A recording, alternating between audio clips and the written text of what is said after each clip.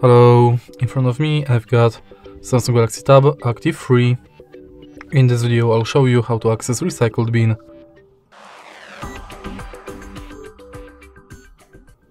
In the beginning, let's go to My Files app and now search for Recycled Bin.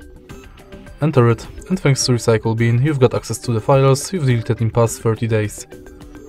If you find this video helpful, please leave like, comment and subscribe.